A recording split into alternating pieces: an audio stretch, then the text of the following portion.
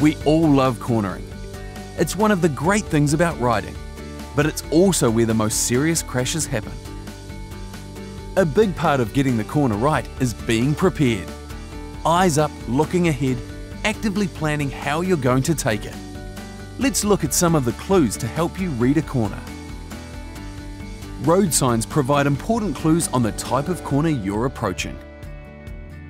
The more chevrons there are, the tighter the corner. The barriers are there for a reason.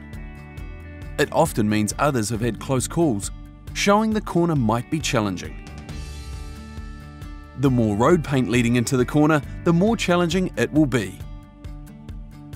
Scan for poor or slippery surfaces that can affect your cornering. Avoid riding through it if possible. Don't spend too long looking at it. Look where you want to go, stay calm and trust your bike to handle the conditions. Watch the vanishing point. If it's getting nearer to you, the corner is tightening, so slow down. If it's moving away, the corner is opening up and you can accelerate.